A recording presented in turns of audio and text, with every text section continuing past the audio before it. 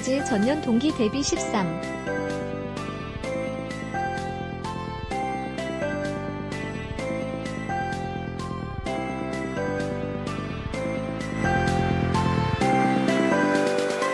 (9%) 증가한 총 611만 대를 판매해 분기 최대 판매 기록을 세웠다.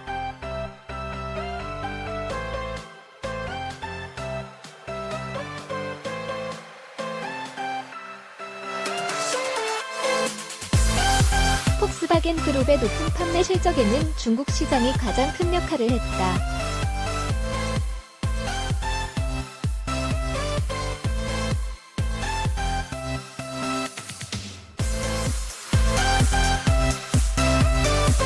중국 시장에서 지난 9월까지 총 169만 대를 판매해 전년 동기 148만 대, 대비 14.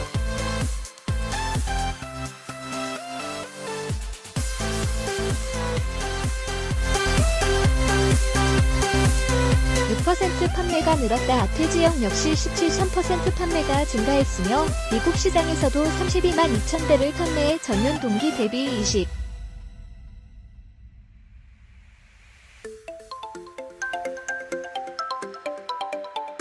4% 성장을 거뒀다. 유럽장에서는 277만 대를 판매해 전년 동기 대비 10.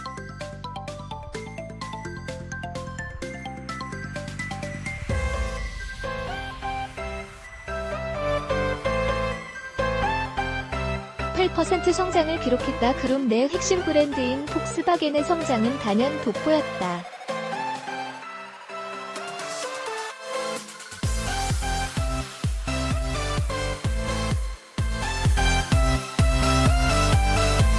폭스바겐은 9월까지 총 381만 대를 판매해 전년 동기 대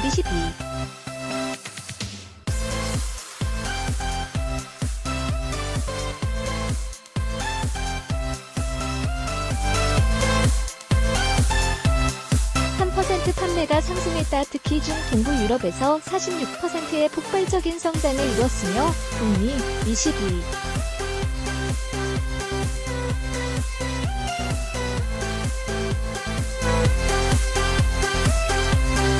2%과 아태 지역 13.9%에서도 판매가 증가했다. 영업 담당 총 책임자 크리스티안 크링글러는 폭스바겐 그룹 사상 최초로 3분기 내 600만 대 이상 판매고를 기록한 것은 그룹의 2011년 판매 목표인 800만 대 달성에 중요한 이정표라며 올 4분기에도 좋은 판매 결과를 예상한다.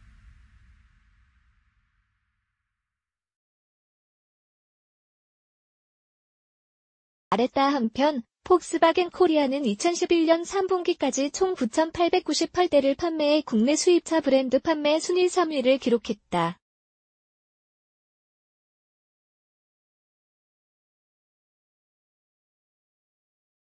년 동기 7,454대와 비교하면 32.8%에 달하는 성장률이다.